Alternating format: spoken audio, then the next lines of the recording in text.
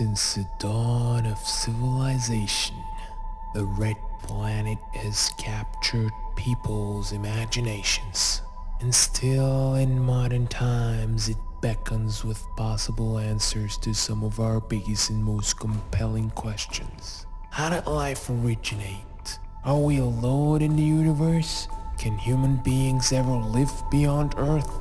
And can Mars actually ever support life as we know it? After we managed to put a man on the moon back in the 60s, humankind is pushing through the boundaries to discover more about the universe and to search for life elsewhere in our vast cosmic backyard. The fate of our species seems to be secured by a restless few who think space exploration is our future.